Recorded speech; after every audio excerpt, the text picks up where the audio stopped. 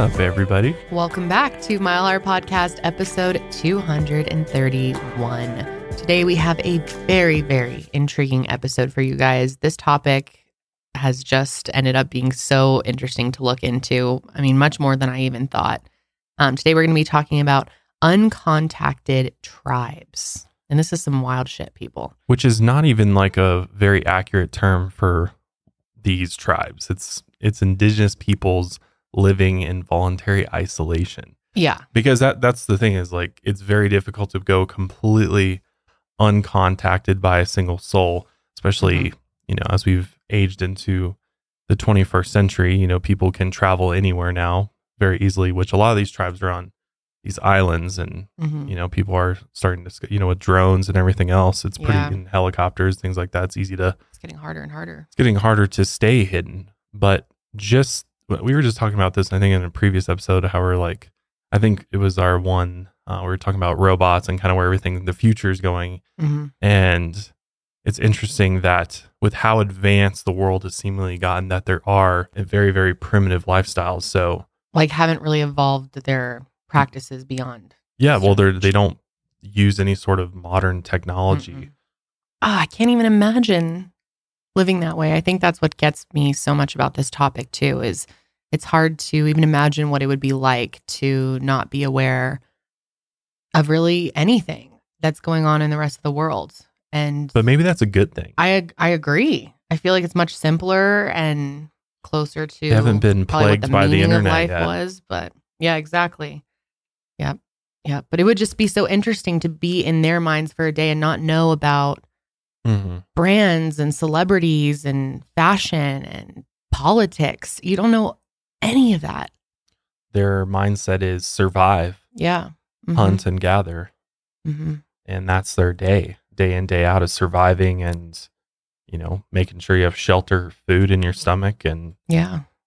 raising your family. Protecting your family because there are a lot of threats to these tribes, which we will get into more today. Which, yeah, there there's a lot of threats, but specifically, we're going to take a look at people who have decided it was a good idea to go and try to make contact with these tribes Mhm. for various different reasons and how those encounters didn't necessarily end well Mm-mm. for many of them. certainly not. But yeah, it's a very, very interesting topic. I mean, just the whole concept of not living in the, Mhm. you know, in remote parts of the world hmm is, is truly an intriguing one. So that's what we're going to get into today. We did have an announcement we wanted to make, right? Yes, yes. I just wanted to remind you guys that we are matching all donations to uh, National Center for Missing and Exploited Children, and you can make donations via our specific link, and that way we can track and match your donation dollar for dollar. And yeah, we're going to be doing that up until the end of the year, up to fifty thousand dollars, and it's just such a great organization. If you aren't familiar with the work that NCMEC does, they do quite a variety of things. We talk about them often in our, you know, various true crime cases. They come up, they help in so many different cases, and they really do so much to aid in the fight against child exploitation, child victimization, missing children, and more. And the direct link, like I said, to donate will be in the description box and the show notes. And we just love everyone that we have met over at NCMEC. They're such a great team. They really believe in their mission, and you can feel good about making your donation that it's going to do really amazing work. And thank you, you know, to everyone who's already made a donation, big or small. Um, whatever you're able to do is so appreciated. So, so far, the website is showing that we have raised $78,531. Nice. That's like quite a bit more than when I last checked it. Yeah. So yeah, we started this campaign back in May. So some of that is coming from the um, merchandise that we sell for NCMEC, which 100% of the proceeds from that also goes to them. So we'll have that linked below as well. But yeah, quite a bit has come in just since we started this new matching initiative.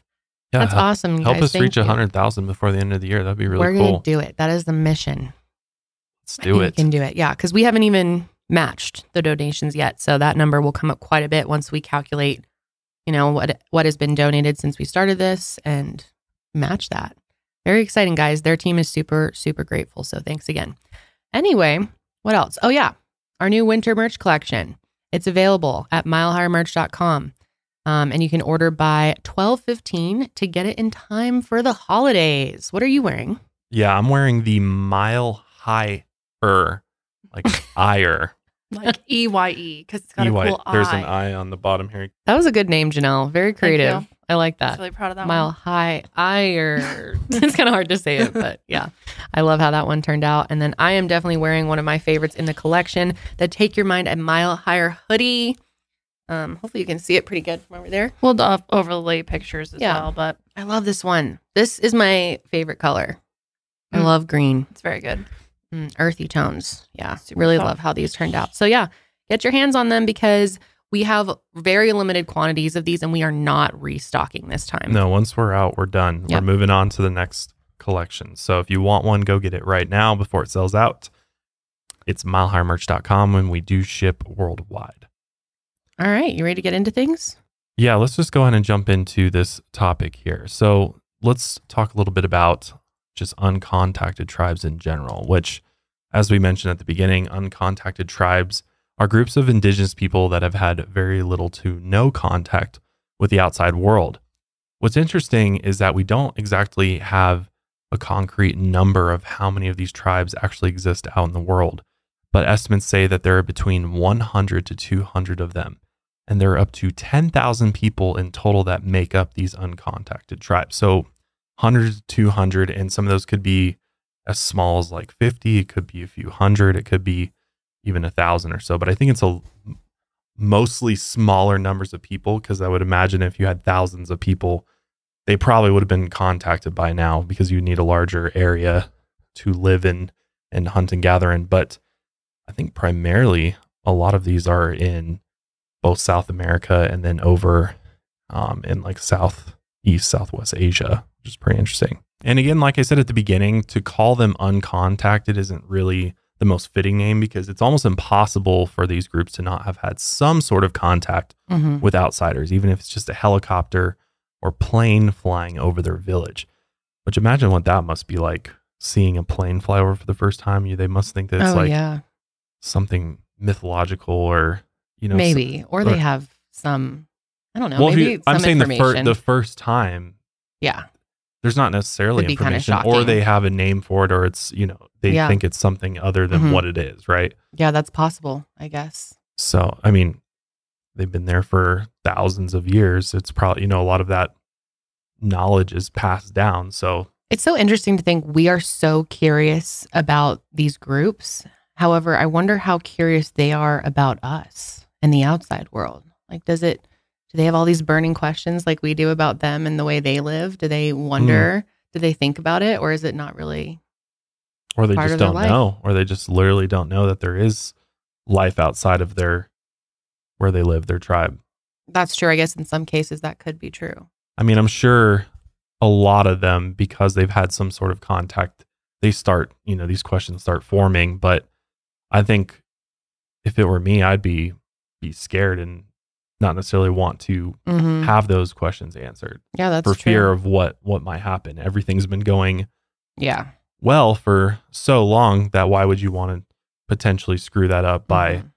going it reminds me of so many so many movies especially like children's movies where it's like you know they i'm trying to think of it a specific example but like like maybe finding nemo for example or something like that where it's like you don't want to go outside of your home and to the great Oh, beyond yeah. you know and finding nemo the out out in the sea and everything Yeah. kind of reminds me of of that i don't know why that just came in my head maybe because i was just holding my daughter before this but but it's just it's kind of that whole concept of you know Mhm. what's what's all out there and you know having this genuine genuine fear of or or even like your parents or and you know elders telling you like oh you know telling you story i'm sure they tell stories of like yeah. things that have they've experienced and you know i'm sure there's sort of this fear among especially the younger ones in these uncontacted tribes that you know to kind of keep them within the tribe versus Yeah. wanting to go out and beyond moana that's moana's true. another another example i was just thinking of like uh, legends and stuff. Yeah, it's very possible they could, you know, tell stories like that. Well, they clearly there's been a few encounters that we're going to talk about that clearly word, you know, of this person's visit um, continued on within the tribe. Well, well, that's the thing with it, and that's why the more appropriate term for for these people are indigenous peoples in voluntary isolation Mhm. because they have had these contacts, but they're like, we absolutely don't.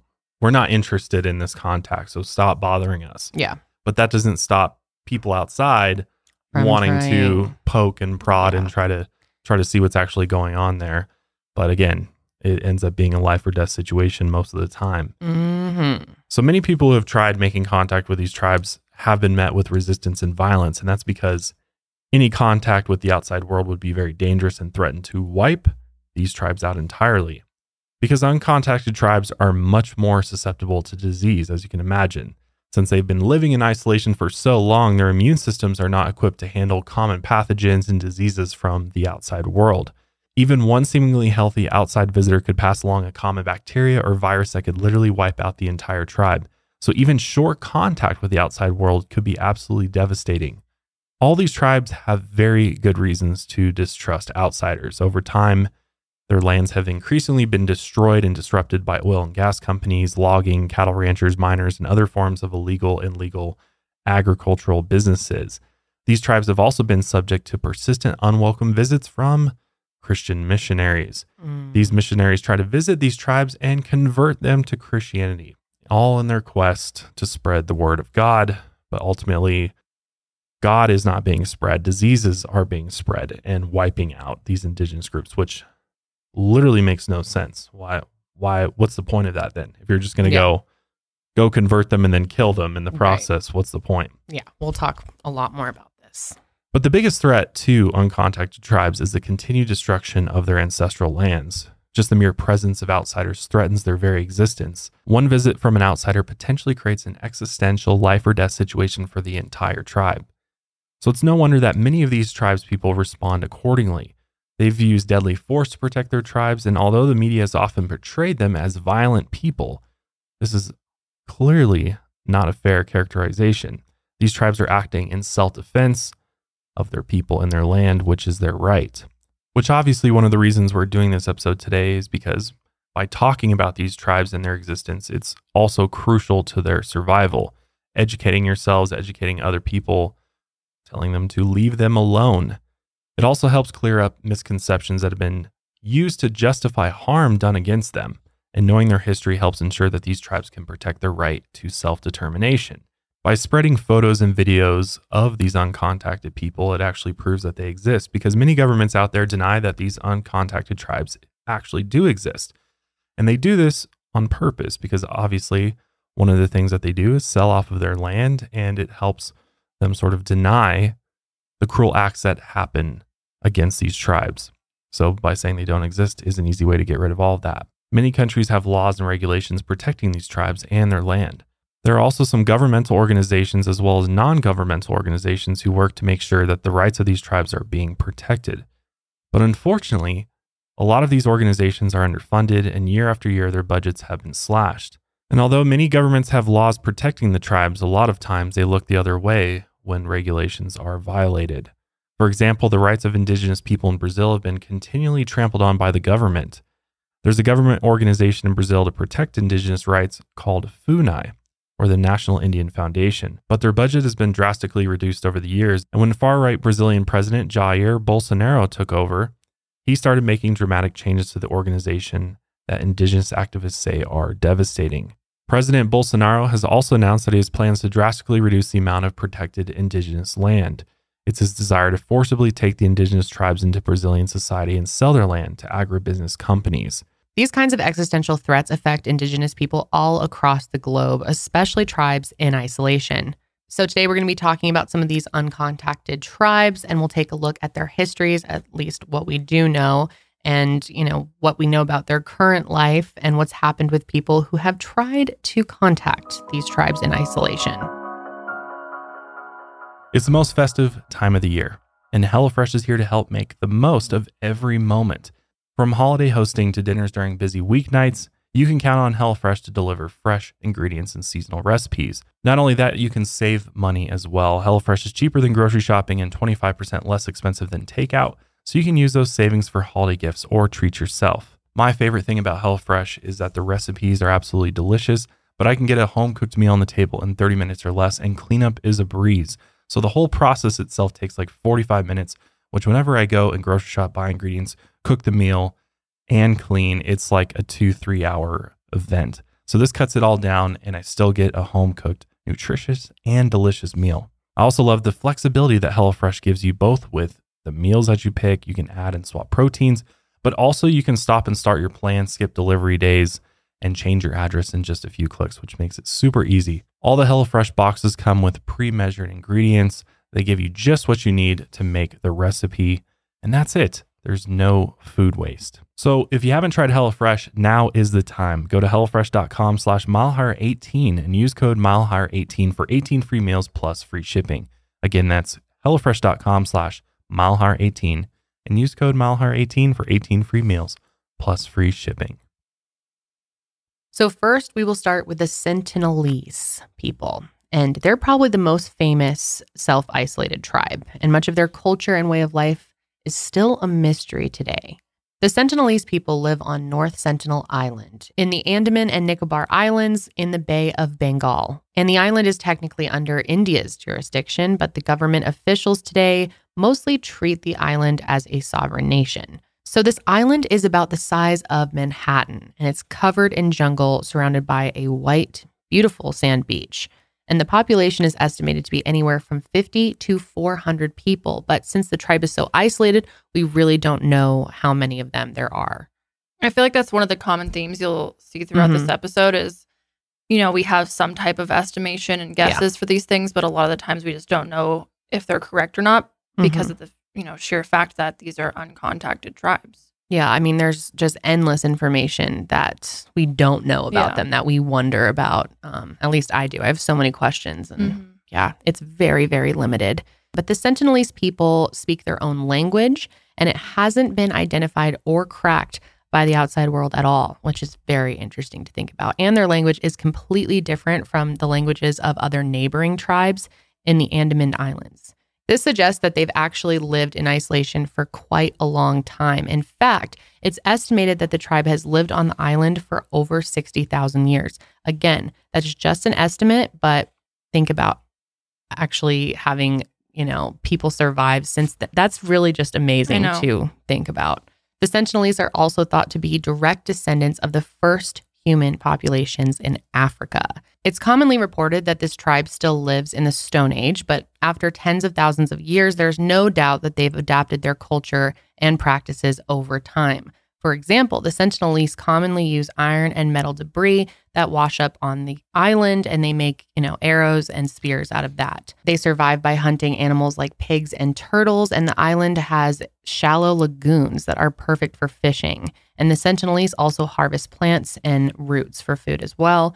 And a common rumor floating around is that the tribe practices cannibalism, but this is not true. There's no evidence for this rumor, and incidents on the island point to the fact that the tribe actually buries their dead. There's also rumors about the Sentinelese using poison arrows, but this is not backed up by any evidence. The Sentinelese are thought to live in three small bands. They construct two different types of dwellings. The first is a large covered communal hut with hearths fit for multiple families, and the second are smaller open air shelters fit for one nuclear family. Since the tribe is so isolated, they have been shielded from outside disease, and the tribe's people look to be in very good health, and pregnant women are spotted frequently, meaning their population is being replaced. The women wear fiber strings around their waists, necks, and heads, and the men wear thicker waistbands but also wear fiber headbands and necklaces, and they also carry spears, bows, and arrows. The tribe is protected by the Indian government. It is against the law to try to make contact with this tribe or visit North Sentinel Island altogether. And because of this, the Indian Coast Guard and the Navy patrol the waters around the island to prevent illegal visitors. Ships are not allowed to go more than three nautical miles near the island. And as of 2017, it's also illegal to take photographs or videos of the tribe. The government has decided to keep a hands off but eyes on approach to the tribe. They decided not to make any more contact attempts. They just basically protect them from afar. And they have pretty good reasons to stay away from the island based on previous events. The Sentinelese tribe is famously very hostile to any kind of intruders or visitors. And this might be because of a disastrous visit by a British naval officer in the late 1800s. The officer was a 19 year old aristocrat named Maurice Vidal Portman. Maurice lived on Port Blair, which was a British penal colony in southern South Andaman Island, while India was under colonial rule. Maurice was in charge of overseeing the island, and he and a group of soldiers decided to do an expedition on the island. Sounds like a bad idea. And it was. At first, all they found were some huts, weaponry, and pig skulls. But later on, he encountered the tribespeople themselves, who he described as painfully timid. Maurice was so intrigued by them that he and his soldiers actually kidnapped a group of tribespeople. Absolutely insane. And the group that he kidnapped included an elderly man, his wife, and four children. The elderly man tried to shoot the invaders with a bow and arrow, but Maurice had a prisoner jump on him. So after he captures these six people, he takes them back to his home in Port Blair and held them captive. And over the next few days, the elderly man and his wife quickly became sick and died. After this, Maurice returned the four children to North Sentinel Island, but with some gifts. And he declared that his experiment was a failure. He wrote that the only result was that the tribe would now be terrified of and very hostile towards any outsiders. Maurice concluded that the Sentinelese should be left alone. Maurice also took a series of disturbing photographs of kidnapped Andamanese people during his time in that region. And he must have had some type of sick erotic fixation on these people and the different tribes. I had heard that he was like taking photos of their genitals and Yeah, stuff and He's putting them in weird sexual positions and things Yeah. like that. just fucking so bizarre. So it seems like this story of Maurice has been passed down orally through the generations because even after decades have passed, the Sentinelese immediately respond to outside visitors with hostility. We don't know for sure if Maurice was the reason that the Sentinelese people reject outsiders today, but his sick actions clearly could not have helped. Plus, other neighboring tribes who were colonized by the British were also wiped out by the introduction of disease. And while there have been some friendly interactions in the past century, most other visitors have been greeted by bows and arrows. In the 1970s, there were some expeditions conducted by the Indian government near the island. In one expedition, they left behind two pigs and a doll for the Sentinelese. The tribe responded pretty swiftly by spearing the pigs and the doll and burying them. In 1974, the Indian government came back to the island to try and befriend the tribe. The ship was guarded by policemen with shields, and they also brought along film crews from National Geographic who were trying to make a documentary. The Sentinelese did not welcome the crew. One tribesman shot an arrow towards the ship, and the boat then landed on a deserted beach and left the gifts on shore. Here's a clip of how the Sentinelese responded to those gifts.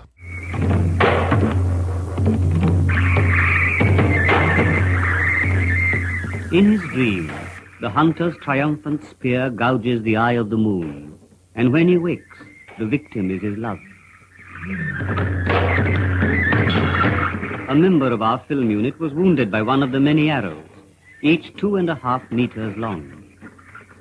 He will carry this scar till his death. It was actually one of the National Geographic crew members who was shot in the leg with an arrow, and after this happened, the ship retreated. But that wouldn't be the last time the North Sentinel Island had some unwanted visitors.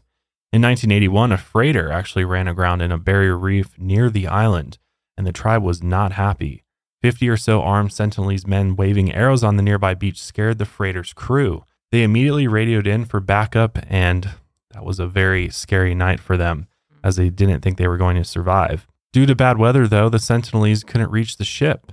The freighter was actually stranded for almost a week before they were rescued by helicopter. During the 80s, more attempts to contact the Sentinelese were made, and teams would try to land and leave gifts for the tribe. Sometimes the tribe responded with what looked like friendly gestures, and other times they would just take the gifts, retreat into the jungle, and then return to fire arrows at the teams. In 1991, there actually were some successful friendly expeditions. On January 4th, 1991, anthropologists on an expedition saw a group of Sentinelese people gesturing and waving at them as if they were showing that they wanted gifts. Once the boat was at a safe spot, a crew member dropped off a bag of coconuts and pigs. The Sentinelese came down and grabbed the bag, and apparently these anthropologists had made these successful drops before. But this time was different. The Sentinelese hadn't brought any weapons to the shore, and when the crew opened up another bag of coconuts and threw them in the water, five of the Sentinelese swam out to collect them. The anthropologist gestured for them to come closer, but the five got nervous and returned to the shore. The group later returned that afternoon, and this time over 24 Sentinelese people were waiting for them on shore. One of the men pointed a bow and arrow at the crew, but suddenly a woman pushed the bow down. The man then buried his weapons in the sand. Many of the Sentinelese people hopped in the water while the team tossed some coconuts to them, and some of the crew even hopped in the water and gave the tribespeople coconuts hand to hand. Pretty We've got some video footage of that first friendly interaction.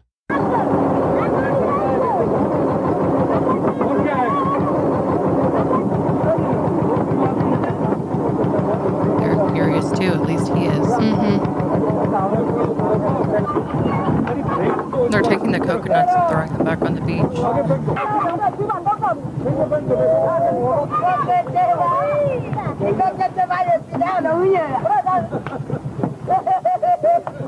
Yeah, they're just collecting all the coconuts. though. The kids look very curious, hmm. but a fairly friendly Interaction, it seems. Yeah.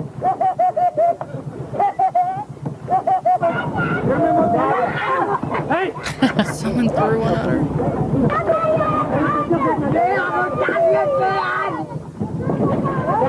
Look at the kid. He's like, oh. yeah, overall, I mean, it seems like they're intrigued. Definitely. It's really cool footage. Obviously, this visit was considered a success, but the Sentinelese quickly reminded the outsiders about boundaries on their next visit. The anthropologist who had led years of expeditions brought his crew near the shore on a dinghy. While the anthropologist was on shore, the dinghy full of his crew started to float away. One of the Sentinelese men saw this and threatened the anthropologist with a knife. They probably believed the dinghy floating away was a sign that the anthropologist was staying behind, and clearly they didn't want that to happen.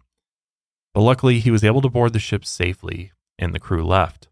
So after this encounter, anthropologists and government officials still believed it would be better to just leave the tribe alone. For the most part, the only contact the Sentinelese had with the outside world was when aircraft flew over the island to make sure the tribe had survived natural disasters, much like the 2004 Boxing Day tsunami. I know. Imagine what that was like for them. Mm-hmm. I It's just don't know how they think about. survived that. How did Yeah. they survive that? We don't know. And I wonder if some people didn't. I mean, Right. good chance. In 2006, two Indian poachers took a boat out near the island to illegally hunt for mud crabs, lobsters, and sea cucumbers. The two men reportedly got drunk off palm wine after a day of poaching and dropped their anchor for the night. But the anchor was faulty, and the drunk fishermen started to drift towards the shore of North Sentinel Island. They were warned by other nearby poachers, but the boat drifted to the shore anyway. While other poachers watched in horror, Sentinelese tribesmen reached the two poachers and then hacked them to death with adzes. Which are like ice pick looking axes. A helicopter team from the Indian Coast Guard tried to land on the shore and recover the bodies days later, but they had to retreat because they were met by tribespeople who shot arrows and threw spears at them. But the blades of the helicopter's propeller were able to dust off enough sand on the shore to reveal a shallow grave containing the two bodies. Their bodies were then hung up on bamboo poles to look like scarecrows a few days later. Since the Indian government considers the Sentinelese sovereign people, they would not press charges against any of them. And of course, the thought of even trying to arrest any of these tribespeople was and is ridiculous, which is why none of the Sentinelese were arrested after our next topic, which is the most recent and famous hostile encounter with the tribe. Next, we'll be talking about the visits of John Allen Chau. What if I told you that you could get an even wider selection on Netflix?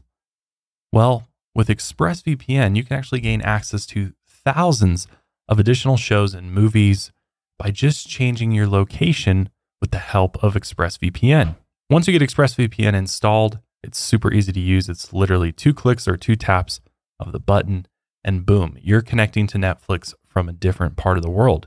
Once you do that, all you have to do is refresh Netflix, and then Netflix now thinks you're actually connecting or located in that region thanks to ExpressVPN and you get access to, let's say, Canada's full library or Japan's full library. So as a result, you get so much more streaming content for the same price, which is awesome. ExpressVPN actually has over 100 different server locations, so you can gain access to thousands of new shows from all those different locations. And this works with other streaming services as well, including the BBC iPlayer, YouTube, and more. ExpressVPN is also crucial when using the internet on the road this holiday season. I don't know about you, but I'm going to be traveling this holiday season. And every time I travel, I always make sure that I have ExpressVPN installed on my devices so that when I'm at the airport, I'm at the hotel, or a cafe or something like that, when I'm using the public Wi Fi, I'm able to stay secure thanks to ExpressVPN. ExpressVPN encrypts my internet traffic so that people can't hack or see what I'm doing on that public Wi Fi. Plus, I love ExpressVPN because you can stream in HD when connected to a VPN with zero buffering, which is not the case with all VPN services. Plus, it's compatible with all your devices, including your laptops, phones, media consoles, smart TVs, and more. And best of all, it encrypts your data and keeps you safe while browsing online. So be smart and stop paying full price for streaming services and only getting access to a fraction of their content. Get your money's worth at expressvpn.com slash milehigher.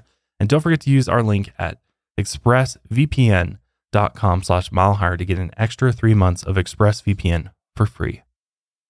So, John Allen Chau was a 26 year old American who attempted to visit the islands multiple times as a Christian missionary in 2018.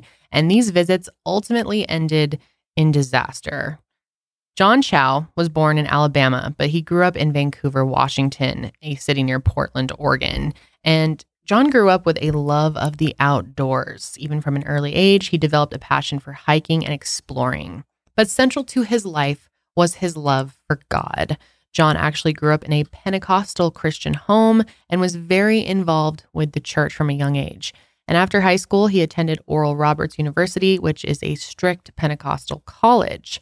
So John first heard about the North Sentinel Island in high school. And he was on a missionary website that documented isolated tribes who hadn't been converted to Christianity. The island is located on a so called 1040 window or the resistant belt. And this is a region that contains countries with the least amount of practicing Christians and groups known as the unreached peoples. So it's kind of like a, a challenge for the missionaries. So from then on, after John had heard about North Sentinel Island, it became his lifelong mission to convert the tribe. No easy task. He also wanted to try to convert other groups of people in this resistance belt. But unfortunately, he would never get the chance to even try. Over the years, John took many trips as a missionary, and he prepared for his North Sentinel trip for years. In 2017, he was accepted into an intense boot camp by evangelical Christian missionary organization All Nations. During this boot camp, All Nations definitely instilled a wartime mentality into John. He believed that spreading the gospel would be a dangerous battle that he needed to prepare for. And in one of the camp's exercises, missionaries trained John by pretending to be hostile natives armed with fake spears. He also got 13 vaccinations and planned a special quarantine period in preparation for the trip. However, the indigenous rights group Survival International said that this still would not have protected the tribe. Again, even a common cold could completely wipe them out. And that same year, John attended a program at the Canada Institute of Linguistics, which is a language school for missionaries. That's where he made a friend named Ben. And Ben was impressed with John's determination. Even though people tried to warn John against going, his mind was made up. In his diary, he asked God if the island was Satan's last stronghold, and he was determined to bring the gospel to the tribe. I can think of a lot more places more fitting of that title. Yeah. Satan, Satan's last stronghold. That's true. John knew that the mission would definitely put him and any missionary organization in jeopardy, but he described saving the Sentinelese people as his burden that only God could relieve him of. So, in October of 2018, he set out for the Andaman Islands. He quarantined without sunlight for 11 days in preparation for his mission. And then on the night of November 14th, he paid some Christian fishermen to take him to the island. The ship carefully moved to avoid detection from the Coast Guard, of course, because this is illegal. Um, and John never informed the Indian government that he was going to be doing this. Then the ship approached the island and dropped an anchor nearby. They wouldn't go any further than that, and they were smart to do so. So John had to strip to his underwear and then head to the island the next morning. As he paddled up in his kayak, some Sentinelese tribespeople started to make high pitched sounds. John shouted, My name is John. I love you. And Jesus loves you.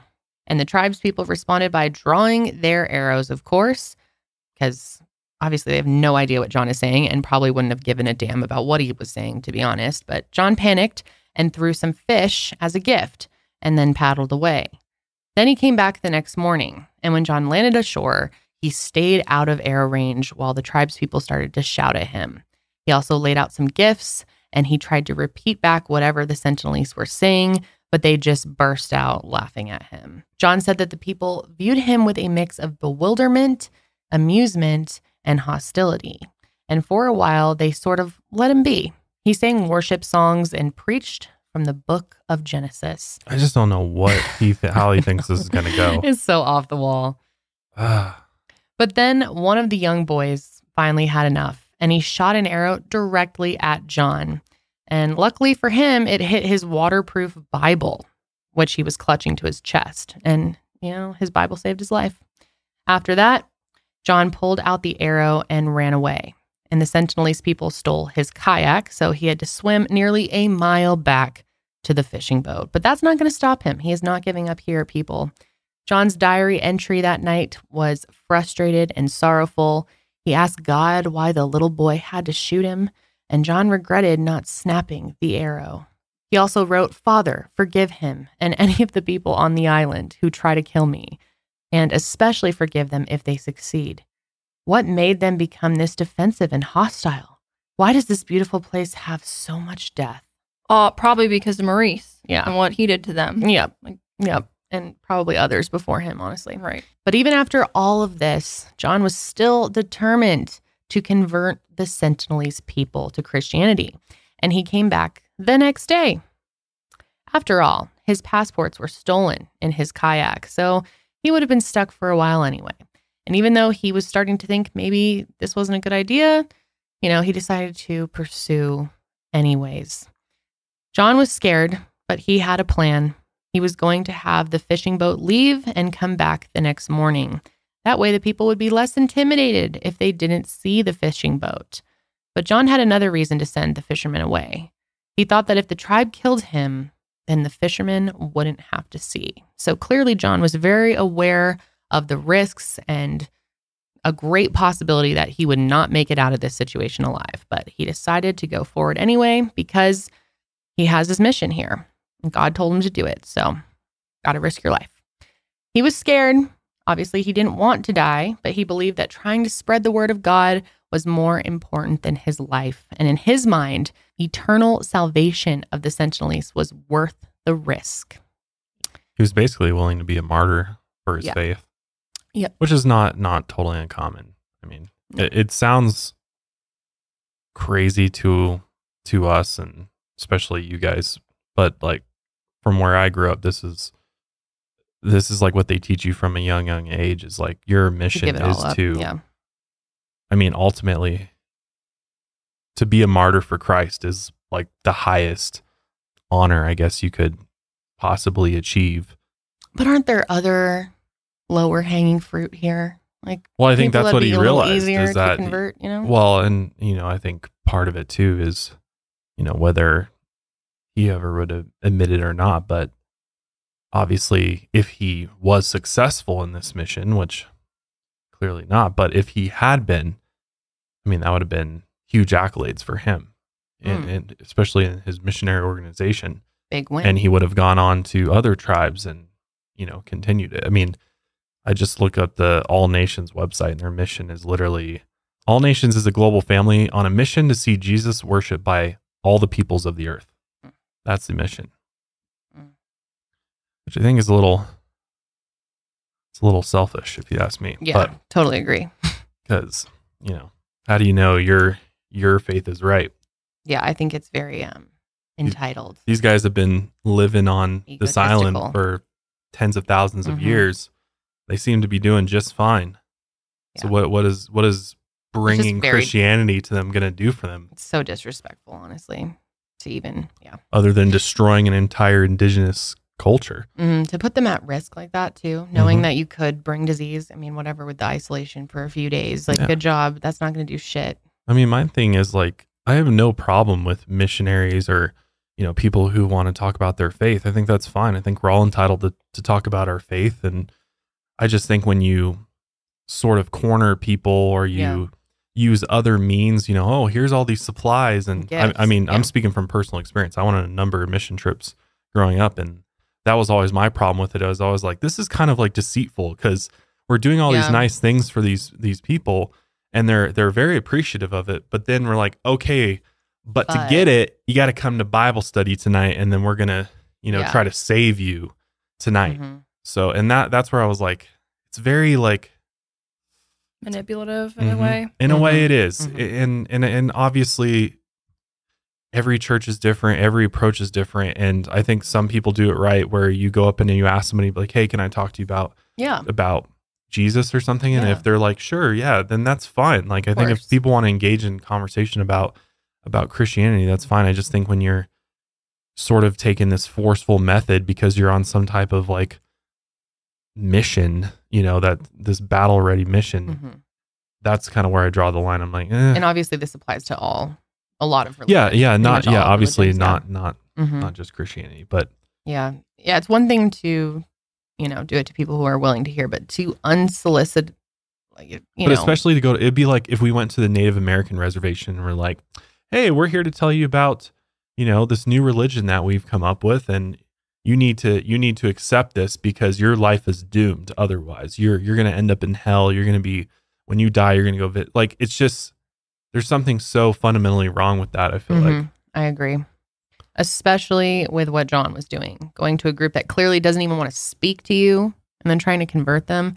Honestly, it's just, it's just stupid. Like he really thought this was going to work in any way. Like I can't imagine getting my mind to a place where I thought I'd be able to do this. Well, it makes it seem like I don't think he really cared whether or not it was going to turn out well for him. Like I think he was really Yeah. willing to die for it. He knew that, that was a chance that that could happen, and I think he believed so strongly that he Yeah. was doing the right thing. Whether that belief, you know, really originated from him or from his missionary group, you Yeah. know, that's kind of up for debate. Like maybe they kind of lack, for lack of a better term, brainwashed him into believing that he had to go and do all these things. Yeah, it could be. Yeah. Common on way. sense goes out the window. Yeah, I For mean, I think he was kind of brainwashed, to be honest, Mm-hmm. Mm-hmm. into thinking that like he was the one that needed. To, what are you, the chosen one, to go out to these Yeah. people Mm-hmm. and try and convert That's them? definitely what he thought. And then when you go and they shoot an arrow at you and clearly make it known that they don't want you here, you go back. yeah, Like you're almost. Well, I don't know. I don't want to say you're asking for No, it, but you're asking for it. I completely agree. Definitely asking for it. Um, and- I mean, yeah, it's definitely clear that he knew he could die and that he probably would. But what's weird to me is that he thought he'd even have a chance to convert this whole tribe. He really thought that was going to happen. It's bizarre. Well, you It's- got you got to remember too here. Okay, I know from like a logical perspective, Yeah. it doesn't make sense. But you have to think from his mindset, and his mindset is that the Lord is behind him. Mm. So when you truly Right. believe that Yeah. you have the power of the Holy Spirit, I see what you're saying. the Holy Ghost, you've got Jesus right behind you. Like, He thought he'd be able to convince all these people. yeah, well, I think he thought that he'd have some help from the Lord God. Mm. or if he goes there and gets killed, then it's like, well, that was God's will. Now I'm going to meet Right. God. Well, like, that's- I did the, the ultimate sacrifice, and God maybe I don't know. I can't speak for him, but I could see him thinking like, in a way, he's rewarding me for doing this Yeah. by letting me meet God. Like he's taking me home now. It's literally in the Bible. wow. Like, if you're a martyr for God, like.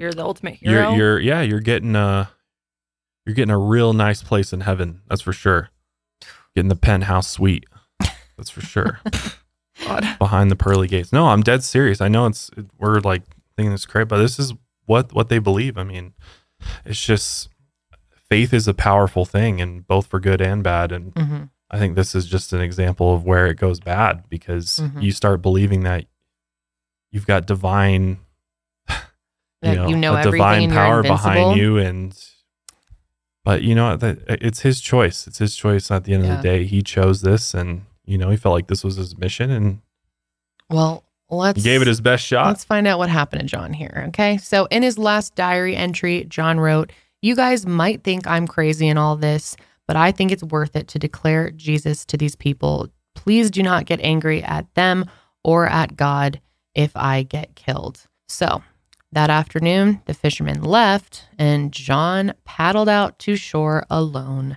And the fishermen came back to the island the next day, and on shore, they saw the tribesmen dragging John's body by a rope.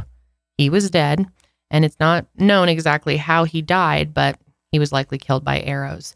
The Indian police decided that it would be too dangerous to try and recover John's body, and he's likely been buried somewhere on the island. After John's death, all nations described him as a martyr who died in service to God. John's father blamed the group for his son's death, and he says that the organization pushed John into their extreme version of Christianity and sent him off into a very dangerous situation. And of course, many people on social media, including Christians, sounded off against the missionary group that trained John. His death caused a lot of backlash and criticism against missionary organizations that try to convert indigenous peoples who clearly want to be left alone. The United States announced that they wouldn't be seeking any charges against the Sentinelese people for this. The Indian government basically announced the same thing. And of course, John's visit was far from the first clash between Christian missionaries and uncontacted tribes. So, we all know the holidays are coming up quick and they're the happiest season, right? Well, let's be real. Between the hectic holiday travel and stressing over getting that family recipe just right, the last thing you want to worry about is finding a great gift for everyone on your list. So, in the spirit of giving, why not gift premium audio products from Raycon? Raycon's wireless earbuds, headphones, and speakers offer premium sound, useful features, an almost custom, comfortable fit, and up to 54 hours of battery life. Anyone you gift them to will find use for them right away, whether they use the speakers to start a party in the living room or escape the party completely and use the earbuds to find some much needed Zen meditation. And as the person gifting them, you gotta love that they start at half the price of other premium audio brands. You guys know we love Raycons. They're comfortable, they sound great, and you really cannot beat the price. Plus, I love how many color options they come in. Raycon makes this stressful holiday period easy with holiday gift guides for everyone in your life. And for the next month, Raycon will have a countdown to Christmas with a new pop up flash deal that you can take advantage of every single day. And now you can find Raycon in stores at Kohl's or Walmart. But let me tell you right now, you're always going to get the best deal at buyraycon.com slash mile higher. The Raycon website also offers free shipping, free returns, buy now and pay later options, plus a 30-day happiness guarantee. And from 1213 to 1220, you can get free express shipping on orders over 85 when you use the code HOLIDAY. So right now, go to buyraycon.com slash mile higher to get 15% off site-wide with code HOLIDAY. Plus free shipping. That's code HOLIDAY at buyraycon.com slash mile higher for 15% off your Raycon purchase. Again, buyraycon.com slash mile higher. So the next uncontacted tribe that we will be talking about is the Tagaeri, and they are a subgroup of the Huaorani people of Ecuador. And they have had their fair share of clashes with both missionaries and agribusiness operations. Just wanted to say that we're doing our best with these indigenous names to try to pronounce them correctly. Yeah. So forgive us if we get them wrong from time to time. It's very difficult to repeat them over and over again. The Huaorani are a group of indigenous people who live deep in the Amazonian jungles of Ecuador. There are multiple different tribes or subgroups of the Huaorani tribe. Some subgroups have made contact with the outside world, but others have remained uncontacted and choose to live in voluntary isolation. Many Huaorani groups live in permanent forced settlements, and over the past few decades, they've been pushed out of their lands and been forced to make contact after invasions from US and European oil companies. These oil companies have destroyed their lands, introduced diseases, and changed their way of life. So naturally, many Huaorani groups have resisted colonization. They refuse to connect with the outside world to preserve their safety and their way of life as they should. Before their first contact, the Huaorani people were known to other tribes as fierce warriors who were highly protective of their land. After many Huaorani people were first contacted, they made their peace with modern Ecuador, but multiple Huaorani families resisted and broke off from the group, and they formed their own tribe known as the Tagaeri. The Tagaeri are also known as the Red Feet for their use of the achiote, a red plant used for body paint. They outright rejected modernization and they continued to practice their way of life in the jungle, including hunting, fishing, and farming the root vegetable yucca. In the mid 1950s, the Huaorani people were invaded by Christian missionaries who wanted to convert them. The Tagaeri first started their war against colonization in 1968 when they killed five U.S. missionaries. But as the years went on, oil, palm, and lumber operations in the area continued to threaten their land. So the Tagaeri continued to defend their home and use deadly force when necessary. Dozens of workers for these companies were killed by the Tagaeri after they encroached on their lands. In August of 1987, a Catholic nun and a bishop went to visit the Tagaeri. The two missionaries were 50 year old sister Ines Arango and 67 year old Bishop Alejandro Labaca.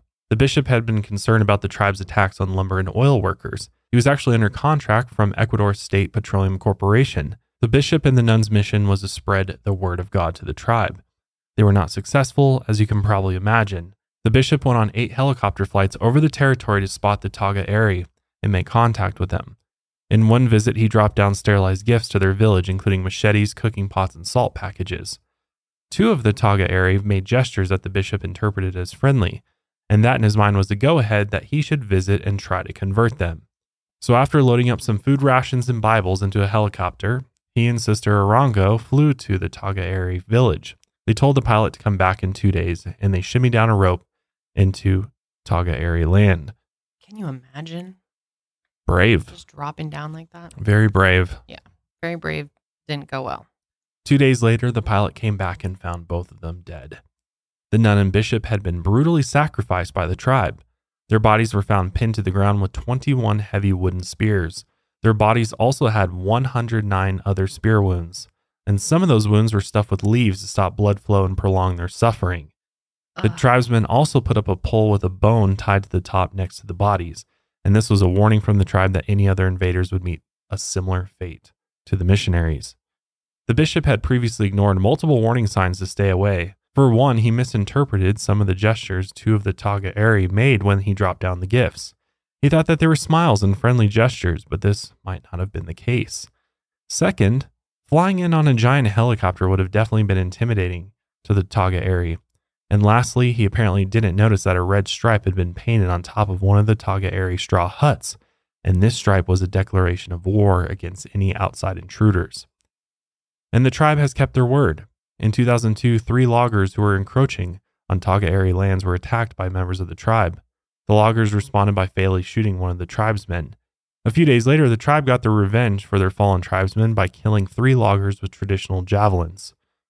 From 2005 to 2008, the tribe caught three poachers who were illegally harvesting rare wood on Tagaeri land, and they were all found speared to death. In 2008, there were not only attacks on the Tagaeri, but also the Taromenane. The Taromenane are another uncontacted group living in Ecuador. And actually, the word Taromenane translates to people of the road. And the Tagaeri and Taromenane make up the last two known indigenous groups living in voluntary isolation in Ecuador. And even though the Tagaeri and the Taromenane are the only two self isolation groups recognized by the Ecuadorian state, there is evidence that other uncontacted groups still live in isolated areas around the country. Loggers actually killed and beheaded five tribesmen who were trying to get them off of their protected land. And unfortunately, the government hasn't done a lot to address these killings and the continued encroachment on the tribe's protected land. Massacres and violence against these tribes have wiped out dozens of tribespeople. Their numbers have dwindled to the point where their population is estimated to be less than 100 people. A lawyer on behalf of the tribes in voluntary isolation has brought a lawsuit against the Ecuadorian government for failing to protect the tribe's human rights. It's the first ever regional court case involving the rights of indigenous peoples in voluntary isolation, and the case is being heard by the Inter American Court of Human Rights. The verdict in this case could potentially stop oil drilling on protected land in the Yasuni National Park. But the next tribe we're going to be talking about is the Kawahiva, a group of nomadic indigenous people who live in isolation in the Brazilian state of Mato Grosso. The Kawahiva tribe are hunter gatherers of the Rio Pardo area, which is on the border of the states Mato Grosso and Amazonas. Since they are a nomadic group who move around a dense, isolated area of the Amazon jungle, they have little to no contact from the outside world. and they do not trust outsiders that they do come across. In fact, there have been no peaceful encounters between the Kawahiva and the outside world. They're so isolated that very little is actually known about their tribe. We do know that they share some similarities with the neighboring tribe, Piripkura. Both tribes people cut their hair the same way, speak similar languages, and use the same kind of arrowheads for fishing. And there are actually only two remaining survivors of the Piripkura tribe. The rest of their tribe has actually been killed. And these two survivors worry that they will also be murdered by farmers and ranchers. In the past, the Kawahiva probably lived a less nomadic lifestyle, cultivating corn and yucca. But as their land and resources have been stolen over the years, they have since been forced to move around in an increasingly shrinking territory. The Kawahiva were once part of a larger indigenous group. But like the Tagaeri in Ecuador, they had to split off from this group after outsiders invaded, and many of their tribespeople were likely murdered or died of outside diseases during these invasions. Now, the Mato Grosso region, which they live in, is one of the most violent in Brazil due to land related conflicts. Gangs of farmers have murdered indigenous activists over land disputes. In 2016 alone, 61 indigenous land rights campaigners in Brazil were murdered. And Colniza, which is the closest city to the Kawahiva, makes 90% of their income illegally logging in the area. In 2001, FUNAI, or the National Indian Foundation, got the Brazilian government to grant legal protection for 410,000 acres of land known as the Rio Pardo Indigenous Area. Outsiders were forbidden from entering this area, but of course, loggers continued to cut down trees on the land anyway. In 2005, loggers were able to convince a judge to overturn the order but indigenous rights groups successfully campaigned to have the order reinstated. Still, loggers and farmers have continued to violate the order. They've even accused Funai of implanting the Kawahiva to protect the land, meaning they're denying the tribe actually exists. The loggers have even threatened Funai and blocked them from protecting the tribe. The loggers also fly planes low over their camps to intimidate and scare them. They've also built logging trails incredibly close to these camps, which possess a potential disease threat. The Kawahiva population is now dwindling due to encroachment by loggers, miners, ranchers, and land speculators. Invasions and illegal logging operations may have killed many Kawahiva people over the past few decades through murder and spreading of disease. There are only an estimated 30 of them left. And because of this, the tribe is constantly on the run. They only stay in one spot for a few days before they relocate. We learn a lot of what we know about the tribe from studying dwellings that they leave behind. The Kawahiva live by hunting game like monkeys, birds, fish, and peccaries, which are wild pig like mammals, sort of like javelinas. They also collect nuts, berries, and honey. And in one abandoned settlement, researchers found the Kawahiva had buried mounds of Brazilian nuts. They also build intricate ladders to collect honey from bees' nests and use traps to catch fish. And they also surround their camps with fences made out of palm branches. This could be to keep intruders or wild animals out. Based on cages and feathers found at the camps, the Kawahiva may keep parakeets as pets, which is pretty interesting. Funai is responsible for keeping the tribe protected. They have been monitoring the tribe for over 17 years without making direct contact. In 2013, a Funai employee spotted a group of Kawahiva tribe members by chance. They were making their way from one village to the next. The field worker hid and recorded the tribe as they walked. When one of the women actually spotted him, she yelled, Enemy, and then the whole tribe fled. So here's the first recorded footage of the tribe.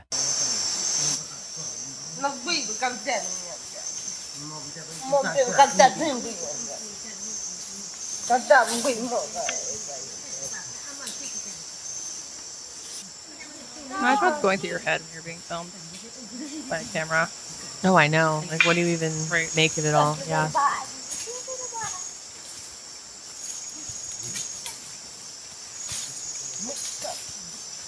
really wild.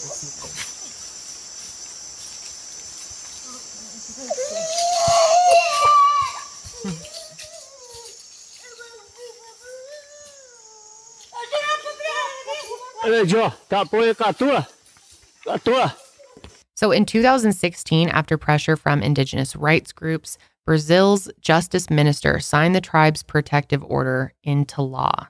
Sadly, the order has not been well enforced. Invasions of local loggers continue to threaten the Kawahiva's existence. And as waves of loggers continue to circle in on the land, the Kawahiva have become trapped and they are running out of places to flee. Due to severe budget cuts, Funai has lacked resources to effectively patrol and protect the area. They're still fighting to remove the armed gangs of illegal loggers to this day. And if the loggers win, the Kawahiva tribe could be wiped out. The genocide of the tribe will be complete at that point. And sadly, the Kawahiva wouldn't be the last tribe in Brazil lost due to genocide. We actually don't know the name of the next tribe that we'll be talking about. In fact, we don't know much about the tribe at all. And that's because when the tribe was officially discovered, it only had one living member, a tribesman nicknamed the Man of the Hole and the world's loneliest man. If you've never heard of Masterclass before, then you have been missing out. I'm a huge fan of Masterclass because I think what makes it so unique and cool is the fact that you can actually learn about different topics in all sorts of different categories like food, design and style, art and entertainment, music, business, writing, home and lifestyle wellness. They have basically all the major interest groups all on their website. What's cool is that the actual master classes are taught by some of the most well known people in those different fields. For example, I'm really into the space exploration masterclass, which is taught by Chris Hadfield, who is an astronaut, which is really cool. There's also another masterclass I'm a big fan of, hosted by John Douglas, and he teaches you how to think like an FBI profiler. I think you can gain so much knowledge when you actually learn from the people who have done it and the people who have made a name for themselves in that particular field or skill set. And I think that's what makes masterclass truly unique. I can't tell you how many masterclasses I've watched on cooking from Gordon Ramsay, big fan of his, and I've learned so much from him as opposed to going out and trying to learn on my own. Learn from the best. That's what Masterclass offers. What's great is that you can learn from the world's best artists, icons, and leaders anytime, anywhere, and at your own pace. They have over 180 classes from a range of world class instructors, so they've got something for everyone. A Masterclass membership also makes for a great gift this holiday season, so I highly recommend you check it out. This holiday, give the perfect gift of an annual Masterclass membership and get one free. It's a BOGO deal. Go to masterclass.com slash mile higher today. That's masterclass.com slash mile higher. Terms apply. So the man of the hole was the sole inhabitant of the Tanaru indigenous territory. This territory is in the western Brazilian state of Rondônia. It is unknown what the name of his people was, what language they spoke, or many of their customs. Most of his tribe was wiped out by a genocide committed by cattle ranchers in the 80s and 90s. His subgroup was part of a tribe that was known to outsiders as the Flecheros, or people of the arrow. By 1995, there were only seven tribe members left, including the man. That year, six of the members were murdered by illegal miners, making the man in the hole the last survivor. After his entire tribe was killed, the man had no choice but to live in isolation for the rest of his life. For 26 years, he lived a solitary existence, and as far as we know, nobody from the outside world has ever successfully contacted him. God, it's like That's a long sad. time by yourself. that's so sad. He was discovered by Funai in 1996 when they found out about the atrocity committed against the people of the Arrow. When the organization investigated, they found that the tribe's village had been bulldozed. They also discovered the man was the genocide's lone survivor, and they've been monitoring him ever since. Over the next few years, they had a few close encounters, but they were always very tense. During one encounter, a Funai worker got too close and the man shot him in the chest with a bow and arrow. The Funai worker survived. After that, Funai adopted a no contact policy with the man and they tried to protect him from a distance without being noticed. He moved around frequently and built small huts as shelters, and he became known as the man of the hole because he left behind a narrow hole over six feet deep in the center of all of his former living spaces. There's no sound in this video clip actually. But yeah, you can see that looks like some type of like pipe. Could have been used to gather water or something. Mm-hmm. Yeah, it's And then- amazing that we just basically have to guess what all of these things were used Yeah. for Yep. now that, you know, they're not living there anymore. It's a pretty nice hut. Yeah, it's amazing what they're able to Very build. good. Imagine living in that. It's hard to even imagine, really. Know. Some tools. It's just crazy to think, you know, here we are on the other side of things, so Mhm. close to being one with robots. And then there are beings that live like this, Mhm. just so vastly different on the same planet. It's like hard to wrap your mind around. It's amazing what they can build with their hands. Yeah, I couldn't even build a paper airplane. agreed. So it's been speculated that the man used the holes as hiding places or they had some spiritual significance to him. The man had built over 50 huts with deep holes in them during his life. When Funai searched the destroyed village in 1996, they found 14 holes similar to the man's. The man had also dug pitfall holes to trap wildlife like wild hogs, and some holes had sharp stakes in them. The man hunted wild game, cultivated corn and yucca, and collected honey, papayas, and bananas for food. The man also left markings on trees that field workers believe have spiritual significance. And since the man lived such an isolated existence, spirituality probably played a big role in his life. Over the years, Funai officials kept their distance, but sometimes they'd leave gifts like seeds and tools. The man fled from many Funai officials he saw, and these officials would monitor the perimeter of his reserve to protect the man from poachers and farmers.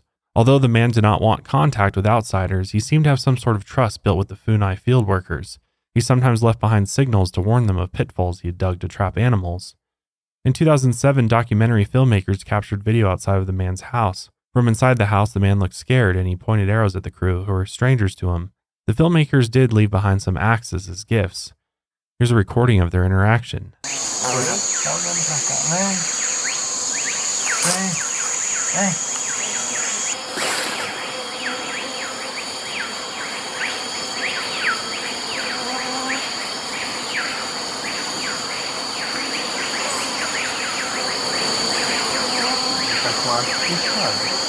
lá, vem a ponta lá assim.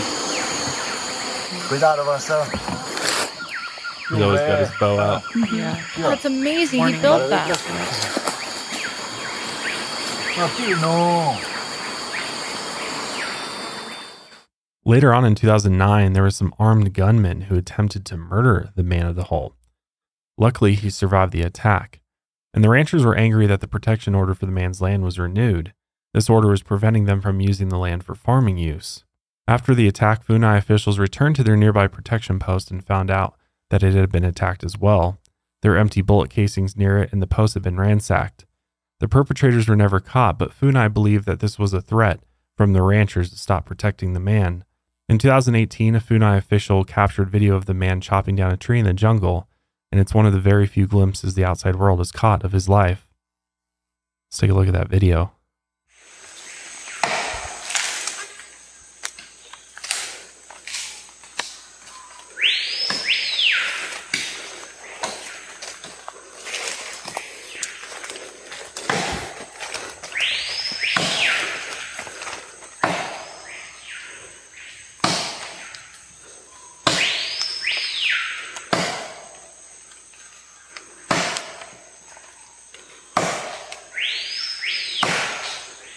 If you're listening, this man is trying to chop down a tree.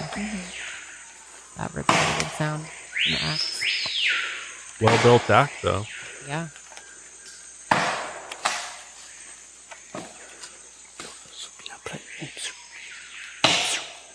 It's amazing how much work goes in and time goes into, you know, one somewhat simple task of cutting down a tree. Mhm. Obviously, you it's not simple, but you get what I mean. Yeah. Nowadays, we Mhm. just take a saw, zoom, done. Yep. Yep. 10 seconds. No, it's so true. But they have so much more appreciation for Ah. everything, you know? Absolutely.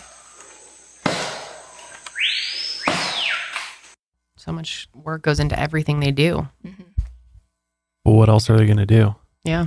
It's not like they have a job to go commute to. Mm-mm.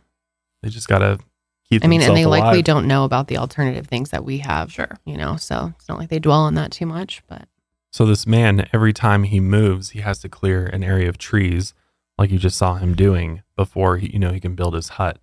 But every time he, you know, somebody encroaches on his his camp, he moves, you know, out of fear of what what could happen. And so that's pretty much like probably a weekly thing, I would imagine, or maybe a monthly thing Mhm. that he goes and for has days, to basically rebuild his whole camp. I mean, Yep. it's pretty badass, honestly. That he's able to do that. All those trees again. But most recently, in August of 2022, the man of the hole was sadly found dead in a hammock at his home.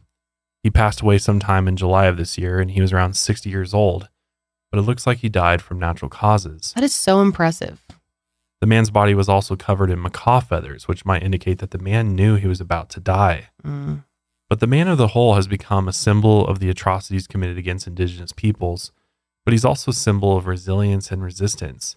The survival of uncontacted tribes is under extreme threat by greed and corruption, and if these tribes aren't protected, they could be wiped out just like the man of the hole and his tribe.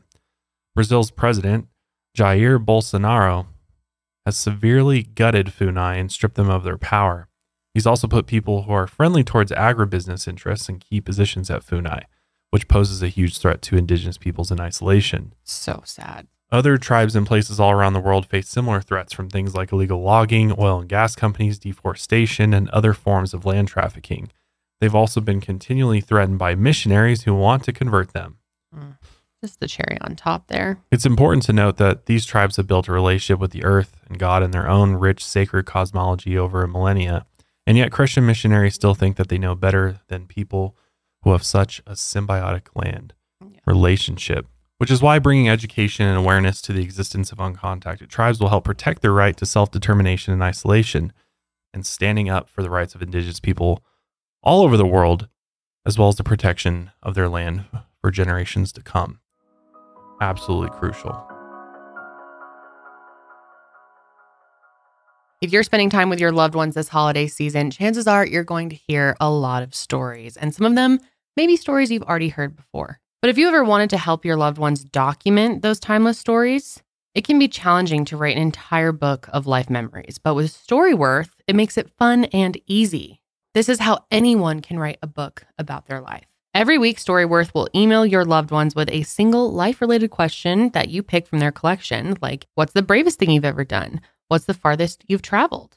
And all they have to do is reply with a story. Then, after a year, Storyworth compiles your loved one's stories, memories, and even any photos that are included into an exquisite hardcover book, creating a valued keepsake. I'm going to be gifting Storyworth to my dad this year, and I am so excited about it. There are just endless amounts of stories that my dad has told me over the years that I just want to have documented and be able to save it for me and my children and their children. It's just so cool how it can be cherished for generations. Millions of stories have already been told with Storyworth because they make the process so simple. So get started with your loved one for the holidays, and before you know it, you'll both be cherishing those timeless stories for generations to come. Help your family share their story this holiday season with Storyworth. Go to storyworth.com slash mile higher today and save $10 on your first purchase. That's S-T-O-R-Y-W-O-R-T-H dot com slash mile higher to save $10 on your first purchase. Storyworth.com slash mile higher. I'm curious what you guys think about the whole idea of us, you know, going out and trying to learn and educate ourselves on these, you know, different groups of people. Because on one hand, I think without doing that, then we're less likely to try and work towards con- conservation and protecting these people and protecting their land if we don't go out and educate Mhm. ourselves on the fact that they are there. But on the other hand, obviously, they don't want to be contacted. They don't want to be bothered. So we're doing them a disservice. But I was just kind of curious what your thoughts are. Like, do you think Mhm. that we should completely have no contact with them and no attempt to try and educate ourselves to, in return, hopefully try and, you know, help save them in a way? And also the fact that it's extremely interesting for us to learn about, but that's just more like a selfish, Yeah, you know, right. but I'm right. talking about more so to try and protect them. And Yeah. if we know that they're out there and they and we know that they're living off this land, you know, then we can try and conserve their land, which also, you know, is the bigger picture of global warming and not, you know, Mhm. de- deforestation, all that kind of stuff. So what's your opinion? Like, do you think we should continue doing what we're doing, or do you think that we should just completely back off and let them be on their own? You know, I definitely see what you're saying. And I think that having education about what they're doing to some degree does help us protect them better. Well, that's what you would hope for. Yeah, that's not always what the are we doing to protect them? Well, some some governments are, but I mean, with the Uh, Sentinelese, they're protected to some degree. Mhm. But yeah, well, they're also on an on. island, though. It's easier to protect an island than it is, you know. The yeah, of the that's true. That's true. Yeah, I don't know. I don't really know what the right answer is or if I have a strong opinion either way because I do think that respecting what they want is very important. But we also know there's all these dangers out there that they don't even know Right. all of them that exist, like all the potential threats to them in the world. And so, you know, on that hand, you kind of think we got to at least know something about them in order to protect them. But I mean, at the same time, you could know very little and still offer some basic protections. Uh, I don't, I don't know. It's a difficult question. That's that's a good question. What do you think? I think here's what the reality is. The reality is that most of these tribes, especially ones that are landlocked or, you know, in areas where civilization is quite near, if there is if there's no no knowledge of them, could they stay hidden? Sure, maybe, but they're not gonna. The the the the amount of illegal logging that's happening, and, Yeah. you know, these It's, like, corporations rampant. are ruthless, man. They'll just Mhm. kill. They'll just kill and annihilate everything in their path. And if there's nothing there to stop them, then everybody's wiped out. Mhm. So I think there is a benefit to knowing that they exist. I just think that it, we have modern technology, and I'm sure there's ways to be more discreet and covert about how we go about identifying them and watching them versus like actually sending humans into the jungle. You know, like Mhm, you know, you mhm. can see them from the air, other other ways, or you know, shit. Drones are so small now; you could fly a drone through the forest and yeah. you know monitor them that way, or place cameras in different areas. To just To say, capture like, enough information Keep watch over them need.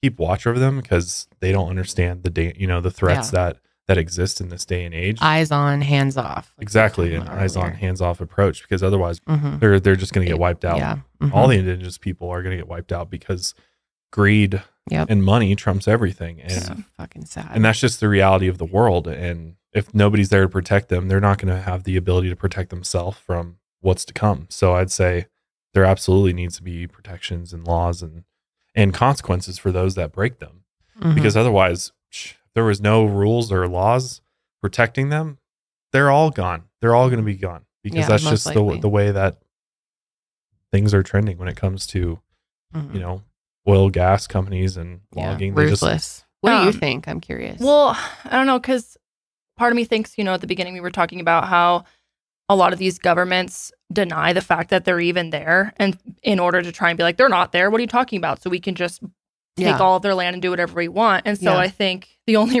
way to really stop that or to prove that they are there is by Mhm. going in and getting proof. Yep. So I think, you know, to some degree, we need to keep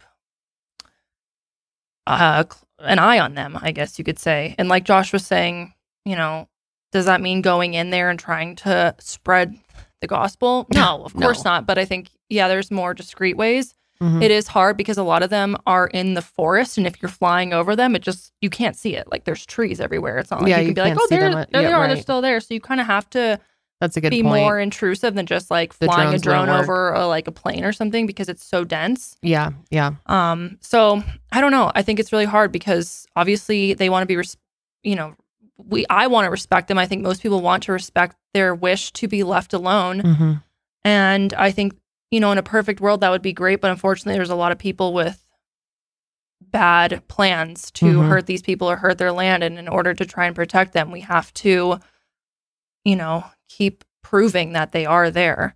hmm There's this one picture I found was really interesting.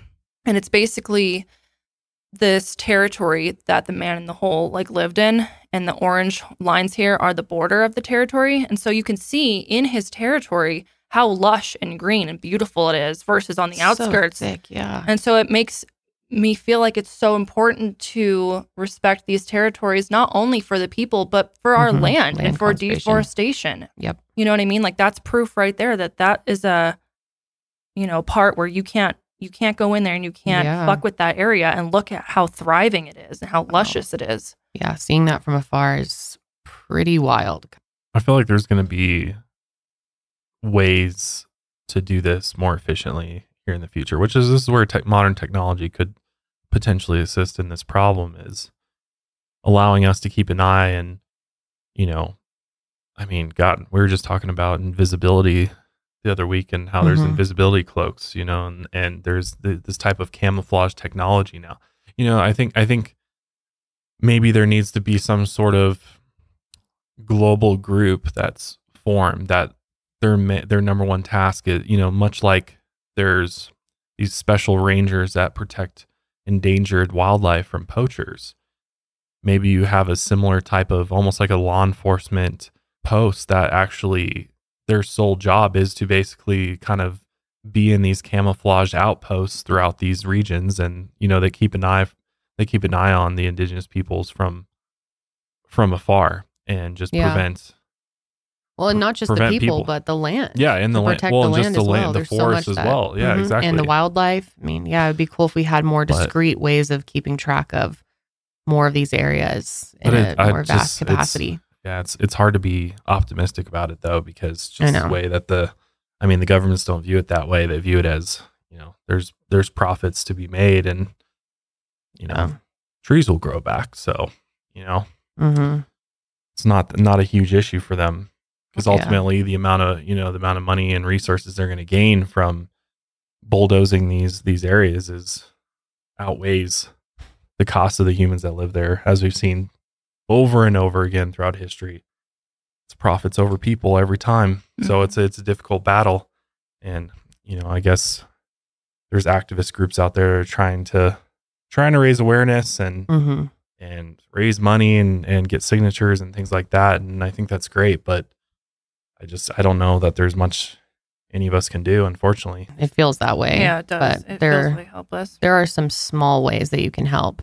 Survival International, like we shortly mentioned before, is a group that is dedicated to help protect uncontacted tribes and the land they live on. Their website says, We are a movement of people from over 100 countries. Our vision is a world where tribal peoples are respected as contemporary societies and their human rights are protected. We reject government funding so we can guarantee our absolute independence and integrity. We rely on you. We work in partnership with tribal peoples to campaign, lobby, and protest for their land rights. We investigate, expose, and confront atrocities committed by governments and big business. We are here to amplify the tribal voice and make sure it is heard. Survival International has created a petition that you can sign titled the Global Declaration for Uncontacted Tribes. The petition says join the global call for governments to protect uncontacted tribes' land and prevent forced contact. Only when tribal people's rights are respected can they survive and determine their own futures. They are trying to get to 100,000 signatures and they only have a little over 35,000. So please, guys, take the time to go and sign that petition. We'll have it linked below and in our show notes. And they also do have a donation page as well. So if you're feeling generous, um, maybe consider donating to them as well. It's a really great cause. But yeah, it's a very serious issue that I don't think a lot of people even fully understand. I mean, I think the average diff- person yeah. doesn't isn't really completely aware of these uncontacted groups. it's tough because it's like this issue stems from a larger issue which stems from an even larger issue and when you work your way all the way up to the top it's like what do we do what can be done it's Yeah. like the world's not going to just all of a sudden stop needing timber so the the forests are going to keep getting plowed and you know it's like what what's what's going to change it's just sometimes i'm just like oh man I, I think at the very very core of everything i think that the the fact that we took land from indigenous peoples in the first place is just I know. it's just completely messed up and i mean you when you talk about that you're going back you know thousands of years and Yeah. it's just it's such a complex issue that it's it's hard to see a there being a, a simple solution for No, it there's but, definitely not. Yeah. but i think at the very least having awareness Mhm. about these things is good Yeah. and maybe you're somebody out there who had no idea that there is uncontacted peoples out there and hmm i think at least knowing about it so that you know if it ever comes along that you can help in some way that you at least are armed with the knowledge hmm uh, Or can share that knowledge with the- other people. yeah the reality of what's going on Yeah, because like we said, education about these tribes is definitely crucial to their survival. and for the love of god literally can these missionaries stop trying to convert Ugh, the indigenous so peoples. Like, and bizarre. come on now. Yeah. They've got their they've had their own religious beliefs, spiritual beliefs for Mhm. longer than the Bible's probably even been around. So it's just Yeah. It's interesting to think about how, you know, we look at these groups and we think how different it would be to live without all of our modern luxuries, all the things we have, and to live without any of that seems so shocking and and you'd think like, "Oh, I could never do that. I can imagine that." But they don't know any different and so they it's quite possible that they would never want to I'm, I'm sure they wouldn't want to live any other way and that they would never want to live the way that we do with all of the you know horrible things that we have in our societies and things that we deal with and i don't know it's just it's very interesting to think. If they could trade places with us would they even want to? Do they have any interest in us? Like i'm just well, I, think the thing i would love to know the mind of these people you I think it's what- hard to say because I think if you introduced anybody, I mean, you you know, we've all seen the shows on TLC where they take the Amish people and they bring them into modern society, and all of a sudden they're like, "Oh, this is great." yeah well you they know, for- choose to to clarify Yeah. don't just take them and bring them in No, I'm just, I'm but just. yeah i know what you're this saying is this is this is what I think is that if you are presented with the opportunity to eliminate discomfort, pain, being cold, hungry, a lot of these just basic things that we need in order to survive as a human being, you take those, you know, you you take care of that for somebody. I think no matter who you are, that you're gonna you're gonna sort you're gonna fall for that. You're going to accept Really? that. Yeah, I absolutely think that over time people are going to do that. If you give them if you show them and they they start experiencing these things, there might be one or two people that say no, but I think the majority of people are going to enjoy that. I mean, versus the other way around, You think that these, if you went it went to, well, obviously we know what would happen if you went up to a tribe and tried to explain this to them. But if they really understood the choice between how they're living and how we're living, you think they would choose to come live like us? I think they would adopt a lot of the things that we have. I mean, if you just look at the fact that they're they're using debris, metals and iron and things like that are washed up on shore and they're they're realizing like, "Oh, this material is going to improve this aspect of my life." So Mhm. if you continue to present them like over a long period of time, they wouldn't just drop everything, obviously. And No, that's what I'm saying is that obviously there's the the part of they've lived this way for so long, so obviously you can't shock them too much. So you wouldn't want to drop them in the middle of New York City. But what I'm saying is that if you introduce them to things slowly over time that are at any point and they start realizing what you're dropping are going to help better their lives, are they going to reject those things? well, maybe like tools and stuff, but I'm like talking I'm- creature I'm ta- comforts. okay, well, I'm talking about like technology. Heat, cooling. I'm talking Mhm. about uh But what about like phones and refrigeration things like things that improve the quality of your life i'm not talking about phones is not a necessity i'm talking about necessity technologies that are a necessity to our daily lives a toothbrush that help keep our teeth clean things like Mhm. that i'm not talking well, about that cell wasn't my phones question. and- My and question was, video would they want to come live in our society Eventually- over theirs? You think they would? I think they probably think what we have going on, like that there's a lot of evil behind some of the luxuries that we have. and Yeah. that it's yeah scary. And well yeah they there would be that but i think they would still take you know they would they might take some of that with them back to their island and use it and and continue do living you know their their path their culture but then uh, just using some of these these technologies that have come along as well. I think i think i mean that's how we all got here in the first place right? Was from being introduced to these technologies over time. The wheel fi- you know Mhm, mhm. fire all the, you know being able to make tools stone metal all these things you look at history it's all been this slow drip advancement of Yeah. of technologies. And so i think we're all human. We're all human being. We all have human nature. We all I, I think we all experience the same emotions and whether you you grow up in the amazon rainforest or you grow up in uh, you know a different part of the world or different culture i think we all have at the very root of who we are the same needs and wants and which is why if you look like around on a basic, if very you basic on the level, I'm talking on a very basic level. If you look at the way the world is now, different countries are at different levels of advancement, but all the same technologies are making their way into all the remote places of the world. And new technologies are coming along, like Starlink, which is going to allow people to get internet literally anywhere on the planet, including Antarctica. So that technology starts getting dispersed to other part, you know, it's going to catch everybody up and people are going to I think everybody in humans just in nature want to advance. Whether if you believe in evolution, evolution is moving forward. I don't agree, honestly. I think that some of these tribes would not want to advance and that tradition is more important to them.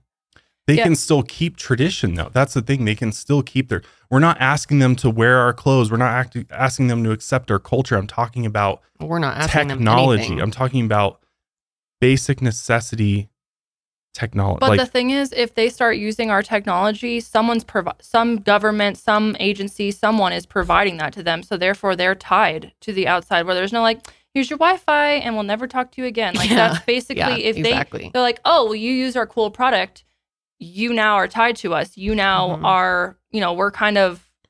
Uh, your boss in a sense that like we can take this Mhm. away you can we can spy on you we can do all these things and i think that's their whole point of like we don't want any anyone to bother us. We want to do things the way that we've done them forever. Um, and whether that's for spiritual reasons or traditional reasons or many reasons, I don't Yeah. know. But I think that if we start to bring in modern technologies, that that's that could really spoil what is what they find as so sacred to begin with. Yeah, I completely agree. And I think they would be like afraid of most of it and very resistant. yeah, which is why they wouldn't use everything, but I'm sure there's something that Mhm. they would could find useful to them. It Mhm. could be anything. It could be, it could be any gadget device. maybe Not talking about TV or necessarily the the the poisonous technologies that have we've introduced into our lives, Mhm. the internet, things like that. I'm talking specifically about refrigeration, things that would not impact necessarily Mhm. their cultural or spiritual beliefs that they could still continue but maybe it would, for all we their life it could absolutely. But i'm saying is that it could also just enhance their lives with with allowing them to be healthier. Maybe their life expectancy goes up. They're able to be cleaner. They're able to you know live a more happy and fulfilling life because of these modern technologies but Mhm. also preserve the tradition and preserve the culture Mm. and continue living into the future without you think if we could successfully communicate about that, they would want those I things? I truly believe so. I think if you could ex- if there was a way to explain with no no strings attached Mm. and this is purely to but see, how do we explain no strings attached? I don't know. And I don't think it would ever be no strings attached. No, no. This is obviously. well just yeah this is we're talking in a situation. theoretical world where you know people actually care about other people but Yeah. obviously that's not the case so yeah there it would there would probably be some type of effect to enacting this sort of change but I don't am just think saying they would from a want to trade theoretical sense places with us really at all, though. Sometimes i wake up and i'm society like i want to live like that seriously and i want to go like live in the More middle of the woods, simple and connected, and yeah. just me and nature hmm Why don't you and go do it? i'm maybe one day maybe one day i'll run off to the woods i, I just imagine how much better Mm-hmm. their mental hells must be Hells. health- Mental their mental healths.